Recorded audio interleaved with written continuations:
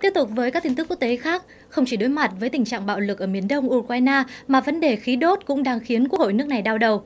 Trong ngày hôm nay thì Quốc hội Ukraine đã xem xét thông qua dự luật do chính phủ của quyền thủ tướng Arseniy Yatsenyuk đệ trình liên quan đến ban bố tình trạng khẩn cấp về năng lượng sau khi Nga cắt nguồn cung khí đốt tự nhiên do Kiev chưa thanh toán nợ của Nga. Trước đó thì Nga đã chính thức khóa van cung cấp khí đốt cho Kiev ngay sau khi thời hạn chót mà Moscow đưa ra đối với khoản nợ của Ukraine vào ngày 16 tháng 6 vừa qua kết thúc. Quyền Thủ tướng Yatsenyuk cho biết, ông hy vọng sẽ được Quốc hội thông qua việc công bố tình trạng khẩn cấp về vấn đề năng lượng. Tôi hy vọng rằng nội các Ukraine sẽ thông qua một dự luật về khí đốt.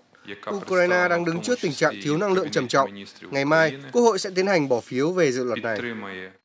Trong một thông cáo đưa ra ngày 2 tháng 7, quyền Thủ tướng Yatsenyuk nhấn mạnh cần kiểm soát chặt chẽ hơn đối với nguồn cung năng lượng trong nước do việc Moscow cắt nguồn cung khí đốt và bắt đầu tác động đến nước này.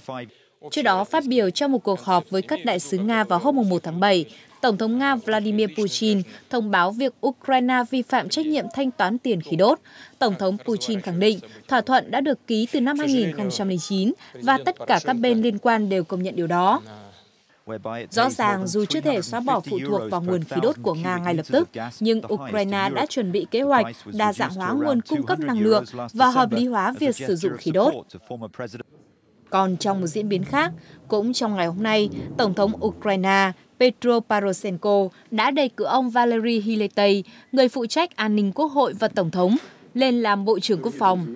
Nếu được Quốc hội thông qua, ông Valery, 46 tuổi, sẽ lên thay thế quyền Bộ trưởng Quốc phòng Mikhailo Kovan. Việc chỉ định này diễn ra trong bối cảnh tình hình ở miền đông Ukraine vẫn đang diễn biến rất nghiêm trọng với hàng loạt các cuộc giao tranh giữa quân chính phủ Ukraine và lực lượng ly khai.